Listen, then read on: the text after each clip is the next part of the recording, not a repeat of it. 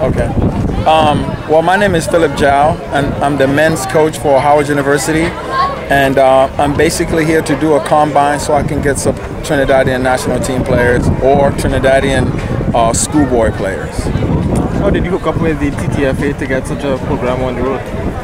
Um, well, I know Sheldon Phillips, and um, I grew up with him. I know uh, Lincoln Phillips, and so um, when I was coming to Trinidad, they um, contacted me and told me that they'll, you know, show me around and uh, make things a little bit easier for me. Yeah. Obviously, there's a rich history between uh, Howard and Trinidad and Tobago. Tell us yeah. about that. Well, um, Trinidad and uh, Howard has a rich history um, because back in the 70s, 1971 and 74, Howard University won the national title, and um, it was significantly Trinidadian heavy.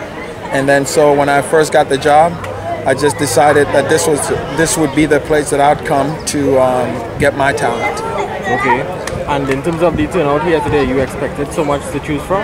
Oh man, it's amazing, you know, the support and uh, and all the talent that I've seen since I've been here. Um, I saw the U20 national team play. Um, excellent, excellent team. And um, St. Mary's, I've seen some of the boys play um, with their grades and and uh, athletic ability. So I'm really looking forward to seeing them today. I'm really looking forward to it. How do you intend to narrow down the pool exactly as to who gets what? Well, right now I'm looking for guys with the academic background because at the university it's a student athlete, and then so guys with the academic background will get the first preference.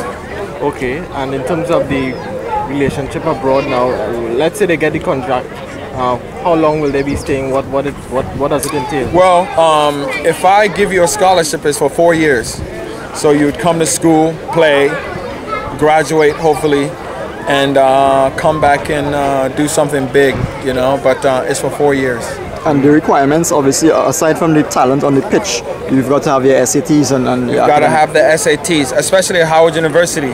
Um, I'll go ahead and explain. Um, we have the Legacy Scholarship, uh, which we need um, 11, 1170 on the SAT, and um, Capstone, you need 1300 um, on the SAT, and then we have the Presidential, um, you need 1400 to 1600 on the SAT with the uh, math and critical reading.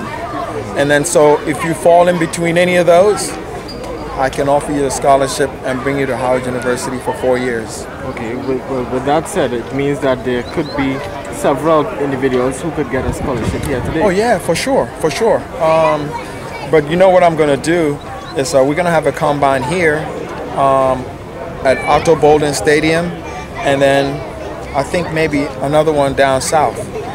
And um, at that time, I'll just reveal who I'm going to give the scholarships to but uh, it will be at least three or four players. How long will it take for you to decide? Oh, uh, as soon as, as soon as um, the combine is done, uh, I'd know who I want, and I'll tell them, and uh, obviously everyone would know after that. All right.